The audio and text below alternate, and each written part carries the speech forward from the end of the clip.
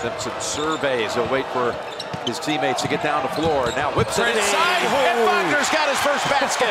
Well, when you work on a pass, you are into the game. Full extension, a little hook bounce. Beautifully done and orchestrated.